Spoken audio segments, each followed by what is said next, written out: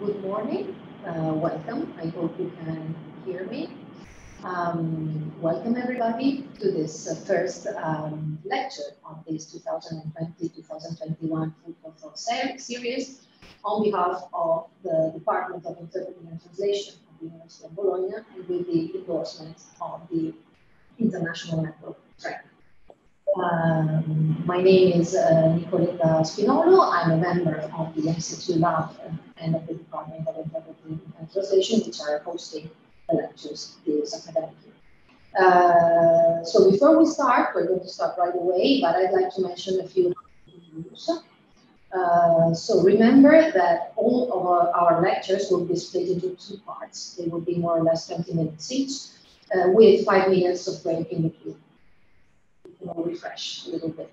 Um, I would ask you to please turn off your microphones and webcams and may ask questions uh, through the chat of the event at any time, uh, but I will only forward them to the presenter at the end of the second part of the presentation.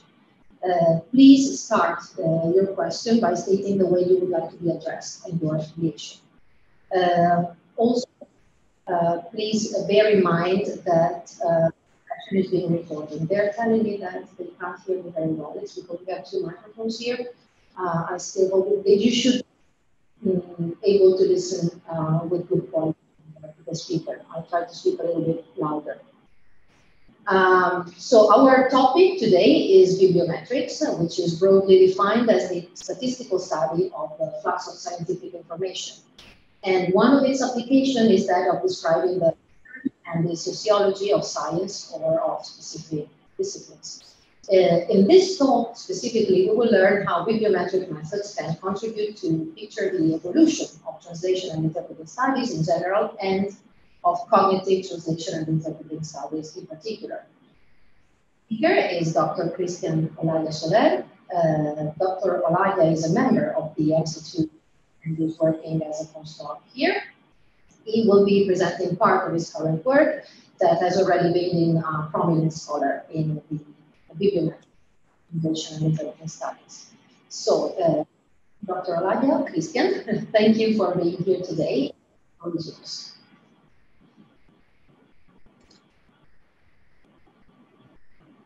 Thank you very much. I hope you can see me and very well. Uh, I just need to uh, set up my presentation. We're ready to go.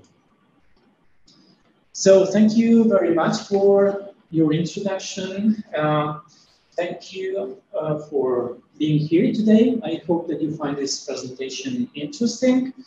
Uh, I'm going to talk about bibliometrics today. Uh, as Nicoletta, my colleague, said, um, this lecture will be split into two parts. Uh, during the first part, I'm going to present uh, what is bibliometrics uh, and what we do in, in bibliometric and then I will move on and I will speak about uh, the history or bibliometric aspects of um, translation, interpreting, um, so uh, I will just start by introducing the concept of bibliometrics, this term. Uh, informetrics is the, uh, let's say, the, the, the, umbrella term. It's a term that is uh, somehow on the top of many other terms that describe how information, how the flux of information is, um, is distributed uh, in, in, in society, in academic networks, and so on. So uh, we have bibliometrics and we have scientometrics, and these two terms, in fact, are synonyms. We can use them um, interchangeably.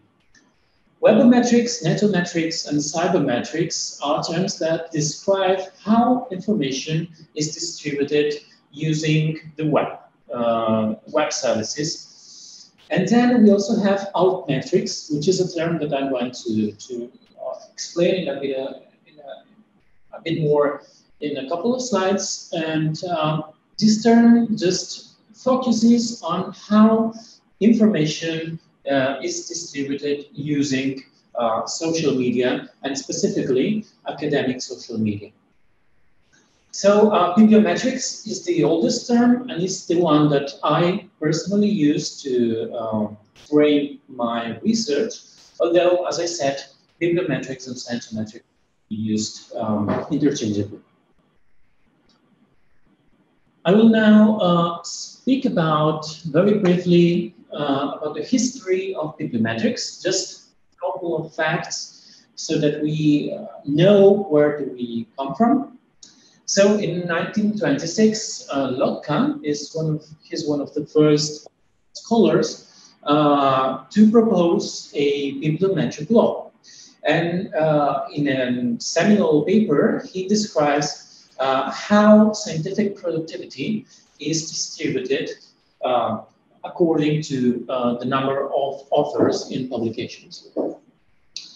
So um, one year after that, uh, a couple of uh, scholars carried out a very small um, study where they described chemical education from a bibliometric point of view. So they tried to describe how information, how scientific information on chemical education was distributed um, in publications, uh, journals, uh, books, and so on and so forth. Uh, many years later, uh, Shearing and Garfield, the, these two scholars, maybe you're familiar with them because uh, we all know the, the impact, the journal impact factor and the, the science citation index. These two scholars propose one of the most um, used and well-known metrics in, in metrics. And this metrics is used to uh, measure uh, impact, uh, scholarly impact in terms of citations. And this index is used for journals, not for um, measuring, for example, authors' impact, uh, for example. Some years later, in 78, uh, the first uh, international scholar journal on bibliometrics is founded, which is Scientometrics. And a couple of years later, uh, we had the first uh, conference, international conference on bibliometrics. In 2005, uh, you know, the, the, the, journal impact factor and citation index uh, were highly criticized. And uh, there was a scholar called uh, who developed another uh, metric, which is the H index. I'm not going to explain exactly what it is, but anyway, uh, it's another important moment in the development of bibliometrics.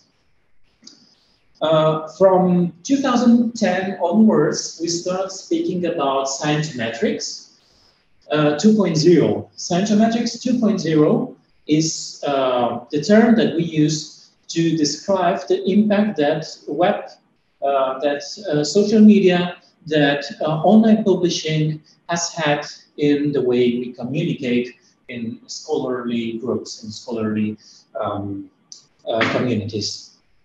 And then in 2015, 2016, we start speaking about altmetrics. All metrics are different metrics that try to understand or try to capture impact in a different way. We here we try to uh, understand how uh, the dissemination of information through social media helps us to get impact in our research. For, so, for example, uh, in altmetrics, we analyze the impact of sharing our research through Twitter, through ResearchGate, through uh, online repositories, and so on and so forth.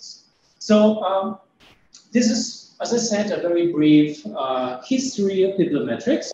And now I would like to focus on, uh, sorry about this, uh, here. Uh, so you can see that. Now, the applications of uh, bibliometrics. So, um, first of all, uh, bibliometrics is useful to describe the history of science. This is, in fact, a part of the research that I'm uh, carrying out uh, right now using bibliometrics applied to uh, cognitive translation interpreting research. Uh, it's also very useful to uh, understand the sociology of science, how, for example, scholars communicate among themselves, how information is distributed among scholars. It's also useful to uh, develop uh, scientific policies uh, and, and specifically um, assessment policies for scholars, for researchers. Uh, just to give an example, and I think that it's very uh, important for all of us, is that uh, in, a, in a study that I conducted together with my colleagues Javier Franco Aixelá and Sara Rovira Esteban, we uh, saw, we, we, we identified that um, the citation windows that are applied in the most important um, such as journal impact factor or Scopus score, are not applicable to translation interpreting studies. We would need at least a six or seven year um, citation window in order to understand or to have a broad image of the impact of our research. Uh, library policies are also important in bibliometric uh, research. We can help libraries to decide what journals should they subscribe to, how should they, um, for example, fund new uh, journals, and uh, last but not least, uh, bibliometrics also plays a role in organizing information in a way that is useful, useful for, for all of us, and also to, to manage this information.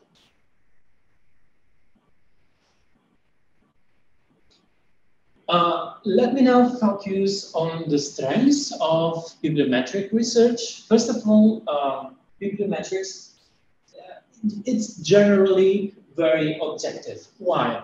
Because uh, we tend to uh, gather data from databases that are curated um, by, by many people normally. for example, Web of Science, Scopus, uh, are generally very good uh, databases, although they have some biases that I will uh, talk about later. So if the database is correct, if the database has a good coverage, then uh, the data gathered is objective and the, the, analysis that can be conducted are generally very objective. Uh, research uh, using bibliometric approaches is also very replicable if I download a copy of a database and another scholar downloads another copy of the same database with the same criteria, we will probably get to the same results. So we will always have this ability to replicate our results and also extend them. The practicality of uh, bibliometric research is also very high. I just talked about the applications of uh, bibliometric research. So, uh, as I said, there are many ways of applying what we see in, in, in bibliometric research to uh, our way of doing science. Uh, there is no human interaction here, so uh, we're getting rid of subjectivity when trying to gather data from, from participants. There's always some kind of subjectivity there. Uh, of course, there's subjectivity in the way that the databases are created and, and curated and, and fed but um, this, this subjective inter-participant subjectivity uh, is not uh, there.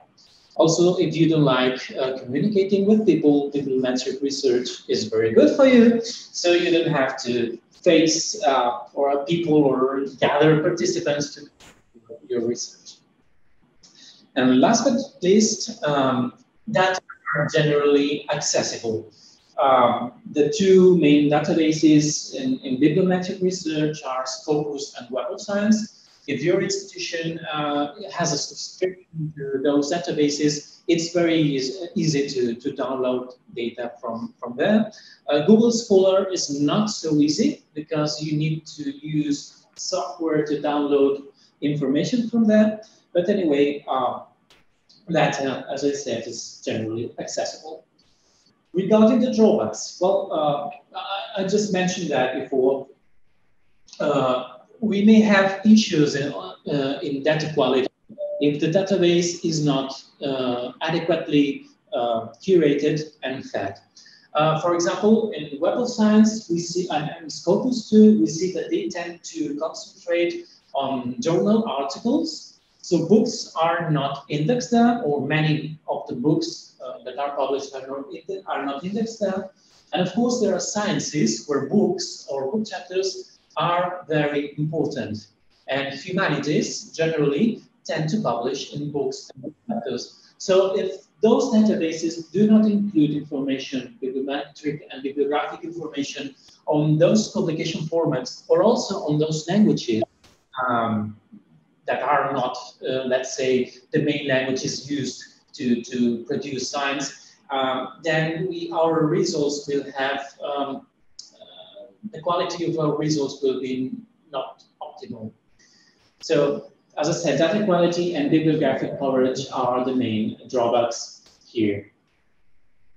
So uh, I will now focus on what we investigate. Uh, first of all, we can investigate the authors who has published research in a discipline. For example, the number of authors. I just mentioned humanities, where we tend to publish uh, books and, and, articles and book chapters uh, as single authors, but in sciences like uh, natural sciences, um, medicine, and so on and so forth, uh, co-authorship is much uh, frequent than in humanities. We can also see what tendencies there are in the way that we publish. For example, if co-authorship grows with time, um, we also uh, can investigate productivity, how many documents does an author publish in his or her career, and how do we collaborate? Uh, co-authorship networks are very interesting to, to observe. I will present some um, co-authorship networks in, in a couple of slides, and you will see that we can discover many interesting things there. Uh, now we will move on to the origins of research. First, we can check what countries are the ones that publish the most in a specific uh, discipline, or what institutions, or in what languages, and on what topics. Uh, for example, uh, we can we can see uh, from a uh, diachronic perspective how the topics investigated in a, in a field or in a discipline change over time. Uh, what was very interesting in the 70s, maybe it's not in the 80s, and there has been a change in the way we investigate also this, this topics. We can also investigate the sources. Uh, for example, we can see if there's a concentration of publications in specific sources. For example, uh, what journals in translation interpreting studies tend to publish uh, research on audiovisual translation, or uh, what specific journals or, or, or, sources tend to publicate um, research on bibliometrics in translation interpreting research. So there we can find specific points of concentration uh, of publications um, regarding uh, topics, for example, or of languages and so on. We can also investigate how publications are distributed. For example, what uh, institutions uh, uh, use or subscribe to what um, journals or, or databases.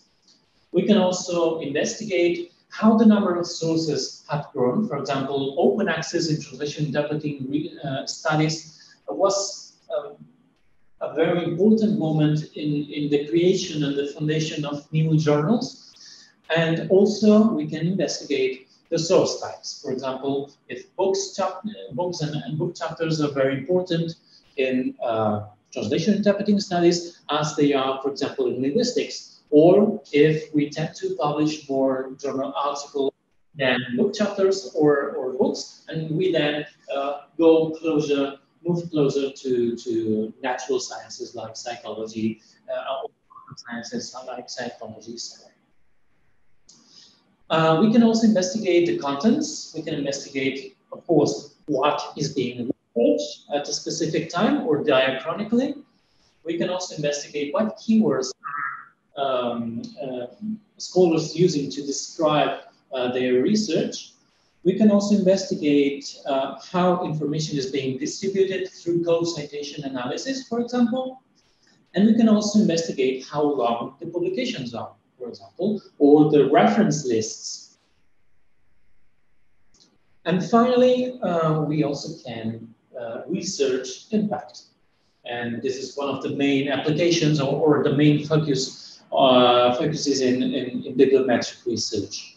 We can investigate citation and co-citation patterns. So how people are uh, citing each other, what kind of relationships are being established between scholars uh, from their citations. We can also investigate citation classics. For example, we have all uh, cited in our publications specific uh, books, for example, that are very famous and that we maybe don't know exactly why are we uh, citing them, but we do that because it's like a tendency. It's like to cite them because they are part of the main uh, or the seminal works in, in translation interpreting studies. And of course, we can study centrality, what authors are the most prominent ones, which are the most cited ones, and why. How do we do that? Well, we need data, and we gather this data from databases, and, and we use data management tools to uh, manage this data, to clean it up, to prepare it for analysis. And uh, we use statistical analysis. Bibliometrics is based on statistics. We mainly carry out quantitative statistical analysis. So we use or we develop metrics like journal impact factor, that is a metric, and we use statistical tools and specific bibliometric tools, uh, for example, to visualize um, citation networks, co authorship networks, as I will present uh, later on. So I will now move to bibliometrics in translation interpreting studies. Uh, look, here, uh, I suppose you can see that from, from your computers, and it's okay. This is not the, the aim of this presentation. Uh, sorry, from uh, this is not the aim of this slide. Um, here you can see a list of publications devoted to bibliometrics in translation interpreting studies. And uh, until uh, the year 2014, we have uh, 15 documents. Uh, so this is 20, uh, 22 years span. And from 2015 to 2019, uh, we have 15 documents. So in, in only four years, we have published as much as in the previous 22 years. And uh, a very special moment for bibliometric research in interpreting studies was the publication of a special issue in Perspectives, co-edited by Javier Franco Aixelá, Rovira Esteban, and Pilar Orero. So um, bibliometric analysis in translation interpreting research is gaining momentum. It's being very, um, uh, it's used a lot in, in China, for example, right now. And uh, we have specific databases for translation interpreting studies. For example, we have CIRIN, uh, which is edited by Gile, Daniel Gile, and we have RETI, which is edited by the uh, Humanities Library at UAB in Spain. Uh, these are not specific uh, databases with bibliometric and bibliographic data, uh, but we have translation studies bibliography and BITRA, uh, translation studies bibliography is edited by Yves Gambier and Luc van Doorslaer, and BITRA is edited by Javier Franco Aixelá. Uh, we, uh, we uh, my colleagues use BITRA research, and I will now explain why we use this tool. We love BITRA because it's open access. This is the first uh, important information that I would give uh, on BITRA. It's open access. You can access it freely from everywhere in the world. Um, it's the biggest specific database for translation interpreting studies with more than 80,000 uh, registries. And it uh, includes information on many, many, many journals, which are in fact not indexed. You will you won't find this, these journals devoted to translation interpreting research in journal citation reports or in Scopus or in TSB. So uh, is a very good uh, source to conduct um, bibliometric research, which we do recommend, and it's the one that we use. Um, so now uh, I will stop here for five minutes so you can have a little break to process all this information.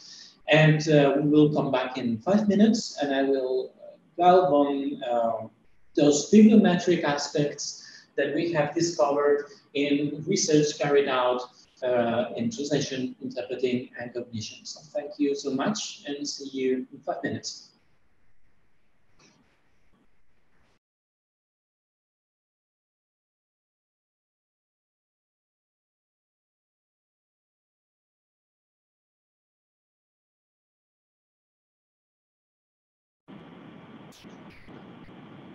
Okay, let's now resume with the second part of the lecture. In the second part, uh, Dr. Olalla will focus more on cognitive translation and studies as he announced before the break.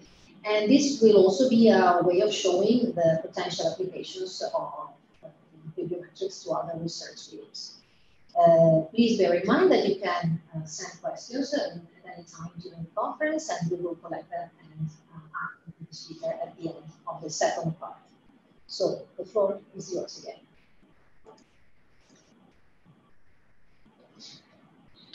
Thank you, uh, Nicoletta. So we'll now focus on uh, translation, adapting and cognition, and the research that has been carried out uh, here, and its bibliometric analysis. So as my colleague just said, um, I will going to present many results from, from a study that I conducted together with my colleagues, uh, Sara Rovira Esteban and Javier Franco And uh, maybe you will find that if you're not uh, focusing on this kind of research, maybe this data doesn't tell you much. But uh, what I would like to, to let you know that you discover is that bibliometric analysis can be applied to any subfield, subdiscipline within translation interpreting studies. So maybe this could give you ideas to conduct a bibliometric analysis in your specific fields. For example,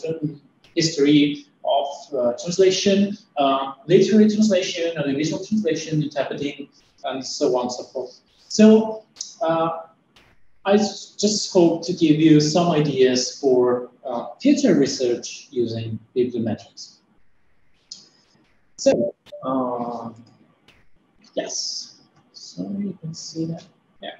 So, uh, our aim was to um, identify characteristics that made cognitive translation and interpreting studies uh, different uh, from a bibliometric perspective from translation and interpreting studies. So to do that, uh, we gathered a corpus uh, from BITRA with more than 2,000 documents, registries of documents uh, related to, to cognitive research in translation interpreting, and more than 77,000 documents uh, devoted to the general uh, research in translation interpreting studies. We also analyzed more than 7,500 citations uh, accrued by publications uh, on cognitive research and more than uh, 1,000, uh, oh, sorry, 100,000 uh, citations to translation and interpreting studies documents. We used a period of analysis that ranged from 1976 to 2015. Uh, we started in 1976 because we think that uh, at this point of time, uh, cognitive translation interpreting studies start to develop um, in a very um, fast pace.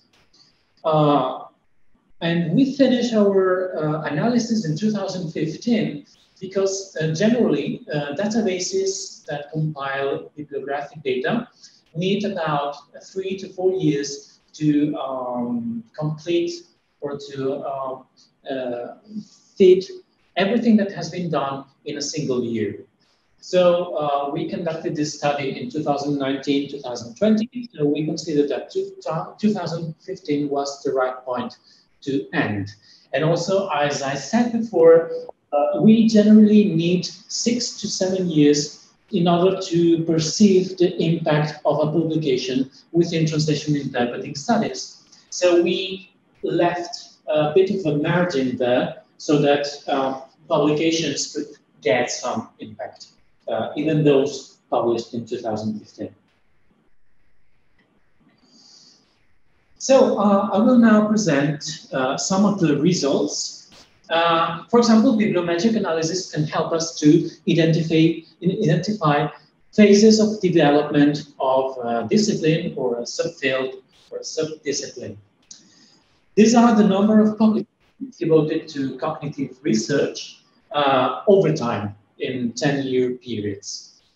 And uh, from these figures, uh, we observed that there is a seminal phase in which uh, publications tend start to appear, but they are very seldom, that, there are not many publications dealing with this topic. Then we have an initial phase where we start to see an increase in the number of publications in this subfield, and also many of the seminal works in cognitive translation interpreting studies are written in this. Finally, we see or we uh, consider that from uh, 1996 onwards, we have a rooting phase, a phase where um, cognitive translation interpreting studies uh, off and starts developing uh, in many, many, many, many topics. Uh, many scholars um, join uh, the, the, this subfield and it starts to grow very, very rapidly. Uh, uh, as, a, as, a, matter of fact, the first publication devoted to uh, cognition, translation, interpreting was published in 1910, and it was devoted to interpreting, and it was framed in psychology. Many psychologists were um, impacted by, by how interpreters could uh, change from one language to another and to do this in a very uh, simultaneous way. So uh, in this table, you can see the proportion of documents published in, in those phases, uh, in those periods of time. So you see that uh, translation interpreting studies um, is focusing a lot on cognitive translation interpreting studies. The number of publications in, in, in this subfield is growing a lot, uh, especially in the last period, we see a, a, tremendous growth in the number of publications. So we're gaining momentum and we're getting a lot of attention in the general uh, field of translation interpreting studies. I will now move on to the most frequent keywords that are used in and publications devoted to cognition, translation, interpreting. Uh, specifically, uh, those keywords that we could identify in the titles of these publications. Uh, to do that, we extracted the titles of these uh, 2,000 uh, publications and we analyzed them by identifying and labeling keywords and we assigned them to different uh, categories. For example, uh, we analyzed those titles from the point of view of the research topics that were being investigated, the conceptual frameworks used to, to explain uh, a study that was being conducted, the professional fields that were being explored, the languages used in the, in the, in the studies, the methods, and the participants that were taking part um, in, the, in the studies. Uh, I must say that uh, you cannot find all this information in a title. A title needs to be communicative. So you won't find, for example, titles that include information on the research topics, on the framework, on the professional fields investigated, the languages, the methods, and the participants. So right now, I'm conducting this uh, sub-study again, but focusing or using the abstracts of these publications where much more information is given. Uh, here you will find, uh, as I said, information uh, extracted from the titles. And for example, you can see that regarding research topic, one of the most frequent ones is training. And this is because uh, cognitive translation interpreting studies tries to uh, investigate how professionals and how students translate and interpret, and what can we learn from that in order to improve uh, the way we train them. Creativity has also been uh, investigated a lot. Uh, translation competence too, specifically uh, from the 90s onwards, and the concept of strategy, which is also very um, uh, related to uh, technique, has been also very um, common. Regarding conceptual frameworks, uh, we see that many of the um, investigations carried out here were framed in psycholinguistics, psychology, cognitive linguistics, neurolinguistics, relevance theory, cognitive translatology. And I would like to um, focus on two aspects here. First of all, um, linguistics tends to be a very uh, common framework for um, investigations on cognitive aspects in translation interpreting. So psycholinguistics, cognitive linguistics, neurolinguistics, and cognitive translatology is uh, one, two, three, four, five, the sixth most frequently used conceptual framework.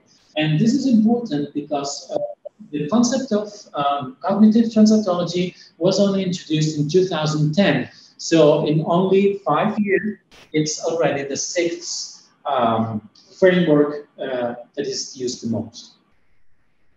Regarding professional fields, uh, we see that simultaneous interpreting has been researched a lot, specifically or in, in the, in, during the first phases of development of, the, of uh, cognitive translation interpreting studies, audiovisual translation too, uh, and post-editing too, and audiovisual translation and post-editing have gained momentum in the last two decades regarding languages, English, Chinese, Spanish, and French are the most uh, used ones in order to conduct uh, empirical research. And regarding methods, we tend to use eye tracking, which is uh, quite novel in our subdiscipline. Think-along techniques, which started in the 90s uh, approximately, 80s, 90s. Keylogging, which started in the, the year 2000. And retrospection, which has been the for quite a long time. Regarding participants, uh, we tend to compare professional translators and translation students. Uh, we also tend to use uh, professional interpreters as samples, but uh, it's very difficult also to find studies that include interpreting students to compare them to uh, professional interpreters. Uh, this may be because it's difficult to access such samples because normally they're very small and uh, interpreting students tend to, to concentrate in, in MA levels, so it's difficult to, to, to access them. Regarding publication languages, uh, here you will find a figure that compares uh, research and general research in the field of translation interpreting. And uh, there are two aspects that I would like to uh, remark here. First of all, English is used um, much more uh, than in, in, in, cognitive translation and interpreting studies than in translation and interpreting studies. So we tend to use English much more as a lingua franca than in the general research into translation interpreting.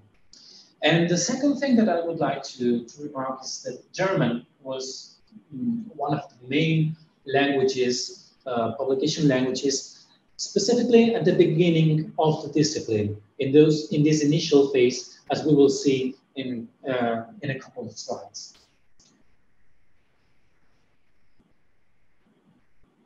Regarding publication formats, well, in, in terms of publishing articles, we see no difference between cognitive research and uh, general research into translation interpreting. Uh, but there is a, a big difference uh, in the case of books. Books are uh, more frequent in general research into translation interpreting than in cognitive translation interpreting studies, but chapters are more frequent in CTIS.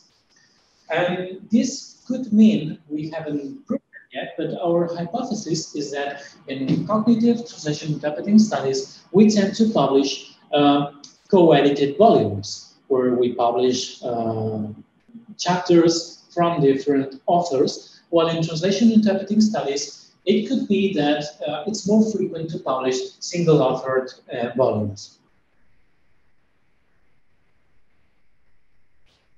Regarding authorship in cognitive translation interpreting studies, um, there are 2,128 documents written by a total of 1,477 different authors in cognitive translation interpreting studies. So uh, we represent only 4% of all authors in translation and interpreting research. This means that we are a very small community, uh, but we have published quite a lot and hopefully with quite an impact in the general discipline. I will now move on to co-authorship networks. What we're going to see now are two networks of co-authorship. That means that authors have published together uh, a publication. And uh, here in this first uh, co-authorship network, um, what we see is like three circles. A general uh, circle here, the one outside the center, uh, represents authors that have published at least four publications on cognitive translation interpreting studies, uh, but uh, they haven't done that in co-authorship. They have done that uh, in, uh, as a single author. Here in the center, we see circles that are bit bigger and start to have different colors Colors uh, represent clusters of scholars that tend to work together, that have at least four publications co-authored between them. So, for example, we have here outside uh, of the main circle uh, many authors already in, with, with, with different colors that mark those different clusters. And here in the middle, we have some big, big clusters of scholars that tend to work together. Uh, in the following uh, co-authorship network, we will focus on this inner circle, circle here, and we will analyze this uh, a bit further. So this is the same uh, co-authorship network, but we have to uh, zoom in to this um, center of the circle. And I have added some boxes and some numbers to the, the different names of the authors that, that are here in the center. Uh, and why have I do that? Uh, well, I've done that because uh, what we see from these co-authorship networks is that we tend to collaborate, that we tend to publish um, documents with the people that work in the same country as we do. So co-authorship in cognitive translation interpreting studies tends to be at a country level. Generally because we have research groups that are uh, situated in the same place, uh, or maybe because um, we have countries that with, with different universities that are carrying out research on cognitive aspects of translation interpreting, and they work together. For example, cluster number one would be uh, composed by scholars in Switzerland, number two, uh, Sweden, number three, United States of America, number four, Finland, number five, Argentina, six, Austria, seven, Brazil, eight, Spain, nine, uh, Denmark, and 10, Germany. So, as I said, um, co-authorship tends to be at a uh, country level, but of course you can see that there are uh, some uh, links between um, scholars of different clusters. This is so because we also tend to uh, publish books, co-edited, co-edited books uh, with people from different universities. And these links between people from different clusters are represented by these publications of co-edited books. I will now move to impact uh, in terms of citations. I would like to stress that uh, me, uh, Sara Rovira, and Javier Franco, we do not consider citations as quality. We just consider citations as impact. As you know, uh, citations can measure many things. You can cite someone because you agree with what they say. You can cite someone because you don't agree with what they say. There are many ways and many reasons to, to quote another. So we do not link citation to quality, but only to impact. Uh, having said that, uh, the figures you, you can see here, what they tell us is that uh, scholars in cognitive translation interpreting studies tend to receive more citations uh, than scholars in the global discipline in translation and interpreting studies. This may be uh, due to the fact that we are a, a, very small community. As I said, we're 4% of all authors in translation and interpreting research. So it's very easy to know what is being done, to be aware of uh, new publications, and it's then easier to uh, cite new publications and cite each other. Uh, here you can see two figures that present the likelihood of being cited as time advances. The figure on your left uh, presents the likelihood of being cited for the first time, that means receiving your first citation in a publication, and the one on the right presents the likelihood of being cited uh, as time advances mm, repeatedly, uh, not, not focusing on the, on the first citation. And in the figure on the right, we can see that uh, both CTIS and translation interpreting studies uh, tend to behave in the same way. So it doesn't matter if you're working in CTIS or in translation interpreting studies, uh, the likelihood of being cited as time advances is more or less the, more the same. We do see a difference in the in the in the figure on the left, where we see that uh, the likelihood of being cited for the first time in, in cognitive research is uh, faster uh, than in translation interpreting studies. So uh, you will have to wait less time in order to get your first citation if you publish an article devoted to cognitive aspects of translation interpreting. Uh, I'm finishing, just a couple of slides more. Um, here you can see the most uh, cited authors in cognitive translation interpreting studies. Uh, in this uh, table, you will see on the left uh, the figures for the whole period of analysis, that means from 76 to 2015. And on the right, we focused on citations received only from 2006 to 2015. And you will see that the names are in fact quite different. Uh, on the left, you can see many of the seminal works in cognitive translation typing studies, many of the scholars that wrote those seminal works. For example, Gutt with the relevance theory, Kussmaul, Krings, Hirschkondit, Jääskeläinen, Jakobsen, uh, Streiff, Lörscher, and Köhler. Uh, if we focus on our last period of analysis, the most recent one for us, uh, you see that the, the names are in fact quite different we start to see scholars that conduct uh, empirical research. On the left, uh, most of the scholars are devoted to translation theory, but on the left, on the right, we start to see, as I said, scholars that conduct studies. Uh, we see, for example, Göpferich, uh, Angelone, O'Brien, Alves, Shreve, Jakobsen, Dragsted, Hurtado, Muñoz, and Jääskeläinen. Uh, I'm going to conclude right now. Um, what we saw with this study is that there are some specificities in cognitive translation interpreting studies that make uh, this subdiscipline a bit different from a bibliometric perspective uh, from translation interpreting studies. For example, we use English as a lingua franca much more frequently than, than translation interpreting studies. German was very prominent at the beginning of the, of the subdiscipline. Uh, book chapters uh, are more frequent in, in, cognitive translation interpreting studies than in translation interpreting studies. authorship tends to be at a uh, national um, country level, and co-authorship, in fact, is uh, much more frequent than, um, than translation interpreting studies.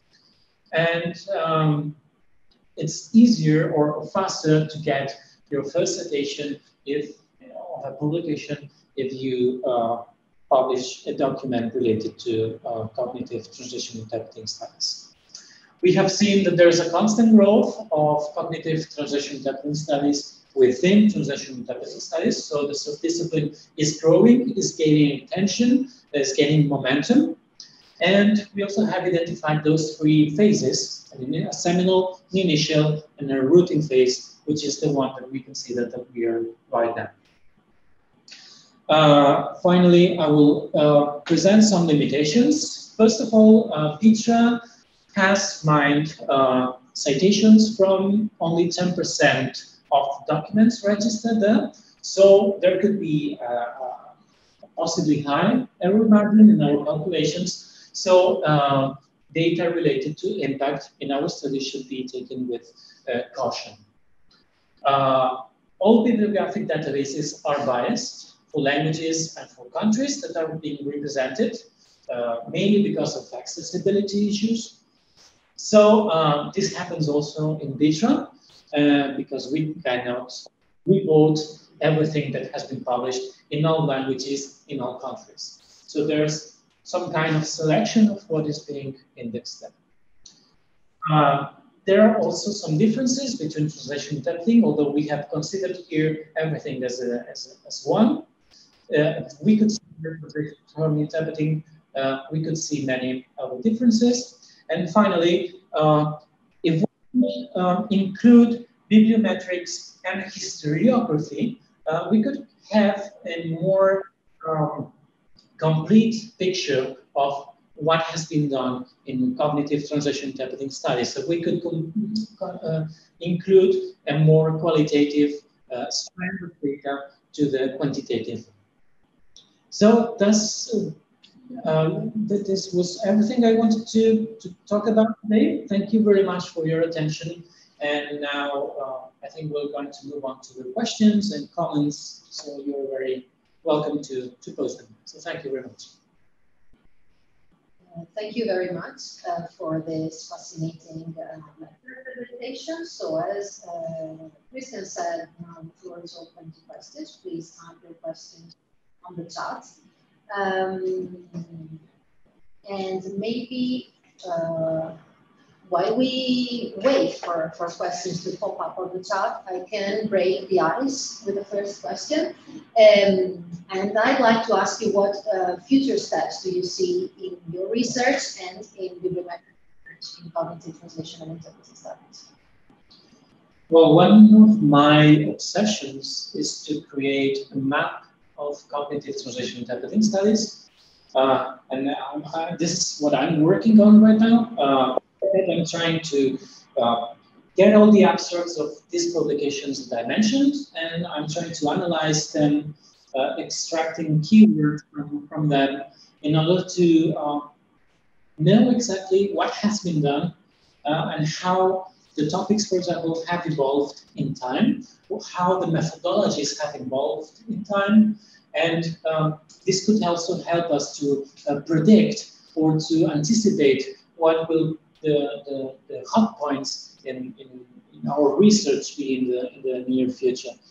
Uh, regarding the future of cognitive translation testing studies, uh, we think that it's gaining momentum. I think that it's gaining a lot of attention and will still be gaining attention in the near future.